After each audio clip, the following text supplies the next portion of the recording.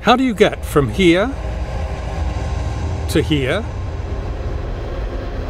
to here?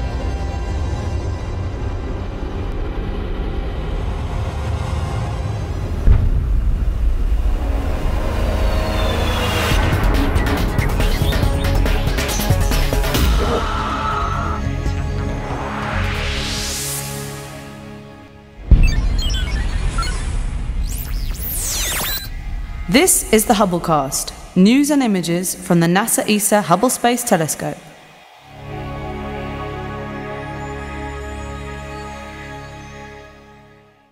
Venice is just a few centimetres above sea level, about as far from space as you can get. But in 1609, Galileo Galilei brought this city a bit closer to the stars when he gave one of the very first demonstrations of his telescope. A few months after that, he discovered Jupiter's moons Io, Ganymede, Callisto, and Europa. Four centuries later, another telescope is making history here as scientists gather to discuss the latest results from Hubble. Hubble was launched in 1990, and that's of course when its history of scientific discoveries starts. But Hubble's history isn't just about science and technology. Like Galileo's story, it's also one of politics, money, and extremely smart people doing very difficult things. I became the first project scientist for the observatory in 1972. And as such, I was the scientific leader for this observatory throughout its design and much of its construction. Difficult decisions were the normal thing in the early days because in the early days we were often dead as a program and then we would be revived. Uh, probably the most difficult decisions were the simplifications that we had to make. For example, originally the design was for a three meter aperture observatory, but in order to save money, we had to reduce it to its final size of 2.4 meters. While the Hubble team hacked away at the technical problems and struggled to stay on budget, a political storm was brewing in Washington, D.C. Politicians were alarmed by the rising costs and told NASA to find an international partner. So early collaboration with Europe was absolutely critical uh, for Hubble Space Telescope even to be started.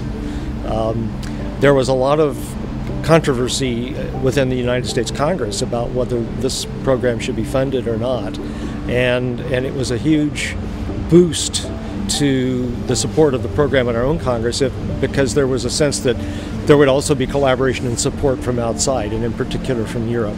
At a different level, we saved the project. I mean, the fact that ESA was a partner of NASA saved the project a couple of times before launch.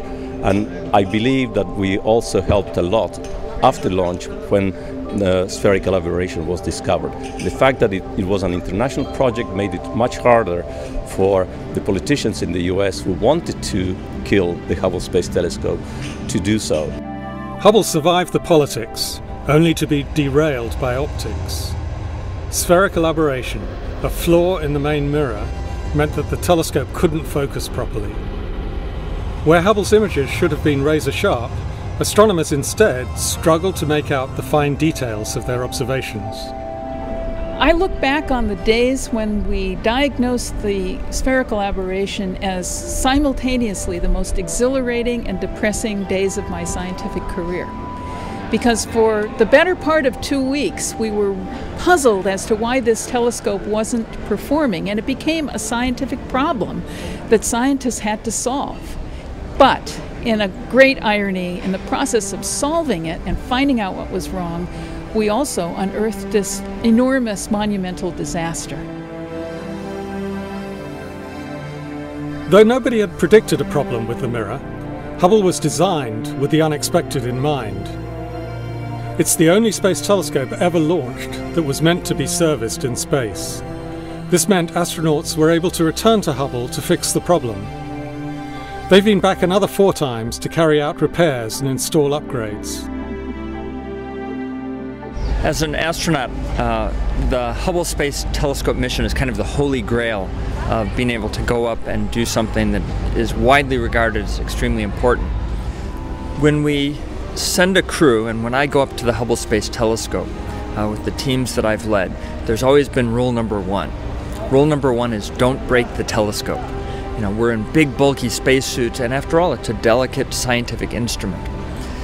So when the first images come down, you know, it's it's beautiful, you know, to see some star that has, you know, in the act of exploding, or a beautiful galaxy interacting with another galaxy, and the science is very deep and meaningful. But to those of us who have been up there working on the telescope, it means that we didn't break rule number one, that the telescope really works, and there's a tremendous amount of satisfaction in that. I think the, uh, the crowning achievement of uh, all of our missions has been on this mission in uh, 2009 where we did brain surgery on the STIS instrument and on the advanced camera for surveys, removing tiny screws and pulling circuit boards. Now, this was technically the hardest, but I think also the most rewarding. Risky, difficult, and exciting in space. These Hubble repair missions are nail bitingly tense for the team here on Earth, too.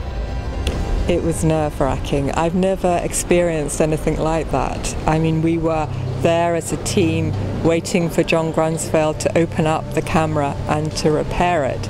And everything rested on a successful repair.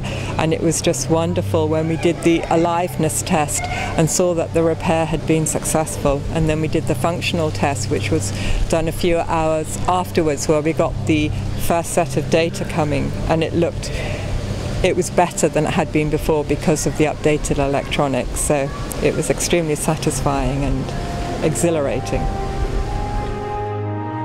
And so, from planning to launch to repair, Hubble's history has been a roller coaster of highs and lows. With the telescope recently serviced, Hubble has more years in it still. And scientists are already preparing for what comes next.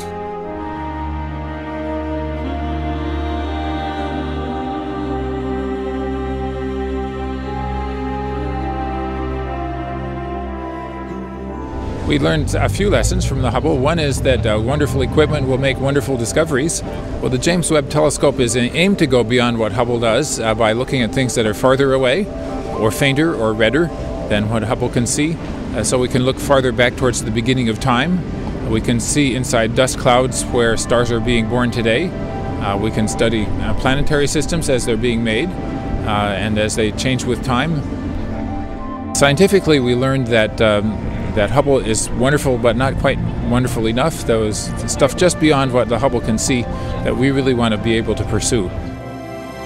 The first galaxies, the first stars, the formation of stars, the evolution of planetary systems, and the hunt for exoplanets' atmospheres.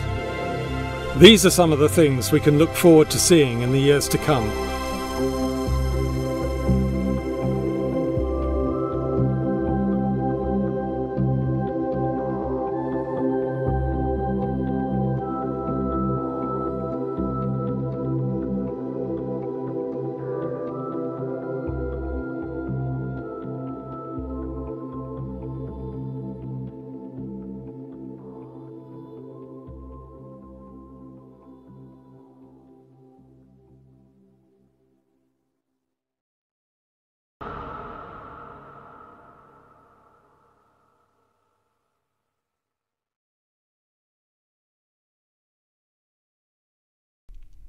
Now that you've caught up with Hubble, make sure to get the latest from the ground too.